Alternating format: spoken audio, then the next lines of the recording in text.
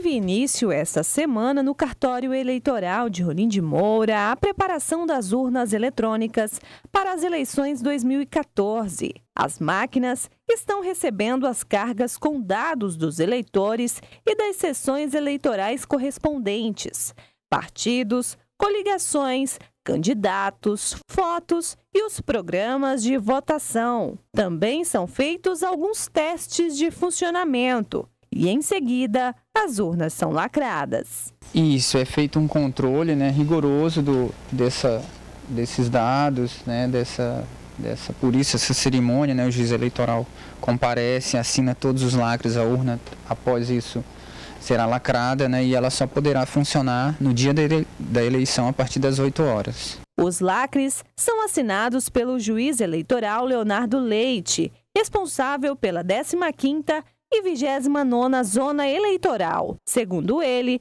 os preparativos para as eleições estão ocorrendo de maneira tranquila, sem nenhum imprevisto. Olha, tudo correndo bem. Nós estamos fazendo hoje uma cerimônia de lacração, na verdade, de inseminação dos dados, né?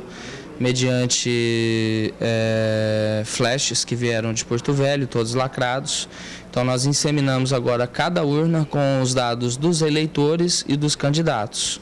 É feita a cerimônia de lacração, né? é, é colocado os lacres nas urnas e programadas as urnas para depois distribuição às sessões de votação. Depois de lacradas, as urnas permanecerão no cartório eleitoral até a madrugada do dia da votação, quando as máquinas serão distribuídas nos locais de votação.